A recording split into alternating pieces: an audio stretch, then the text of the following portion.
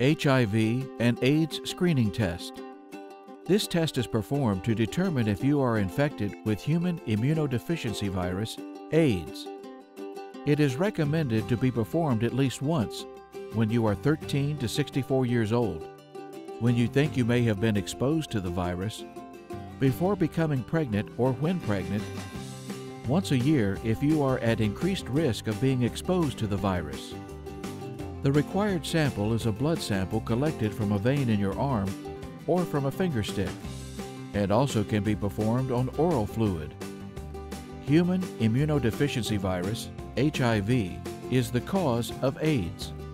When a person becomes infected with HIV through exposure to the blood or body fluids of an infected individual, or a contaminated needle, for example, the virus begins to replicate itself, producing a large number of copies. Over time and without treatment, HIV destroys the immune system and leaves a person's body vulnerable to debilitating infections. HIV screening tests detect the HIV antigen, P24, and or HIV antibodies produced in response to an HIV infection in the blood. Detecting and diagnosing HIV early in the course of infection is important because it allows for early treatment that slows progression to AIDS. An individual can learn of their status and modify behavior so as to prevent the spread of disease. This test should be performed also for people diagnosed with hepatitis B or hepatitis C, tuberculosis, or a sexually transmitted disease and for healthcare workers with direct exposure to blood on the job, and any individual who thinks he or she may have been exposed.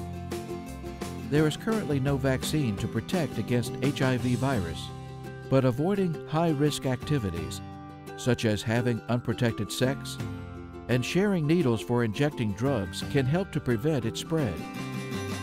Early diagnosis of HIV infection is important to prevent its transmission to others and to allow evaluation, monitoring, and early treatment of the affected person.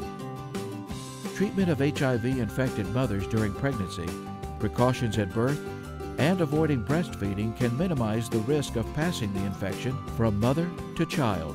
Alborg Medical Laboratories. Watch more at our YouTube channel.